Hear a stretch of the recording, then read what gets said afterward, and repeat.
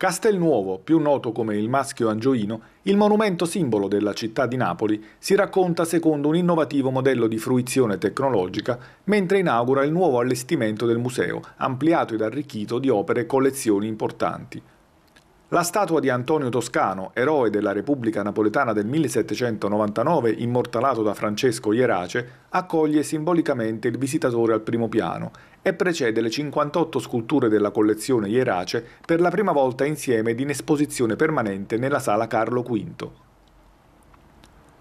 Al terzo piano invece si trova la Sala del Novecento, con pitture e sculture provenienti da Palazzo San Giacomo ed altri uffici municipali, oltre alle donazioni Chiancone, Gatto, Renda e Tiziano. La nuova veste tecnologica del castello prevede inoltre sistemi di navigazione innovativi che sono stati pensati per interagire con schermi televisivi, consentendo di passeggiare virtualmente in luoghi e musei di Napoli, oltre a visitare il castello utilizzando uno smartphone al posto delle tradizionali audioguide ed ascoltare direttamente l'opera che parla grazie ad un'apposita applicazione.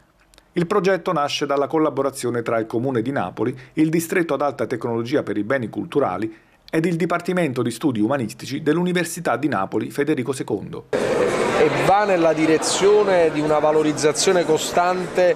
degli spazi pubblici della nostra città, a cominciare dai nostri gioielli un'opera mai fatta che mette insieme arte, collezionisti, comune, università e la città di Napoli. E tantissima qualità perché devo dire è veramente una mostra eccellente, mostra permanente alla quale abbiamo contribuito anche noi da Palazzo San Giacomo portando qui una fruizione collettiva quadri e sculture presenti nel Palazzo del Popolo e quindi credo che siamo tutti molto soddisfatti. Napoli che sempre di più attraverso l'arte e la cultura si sta riscattando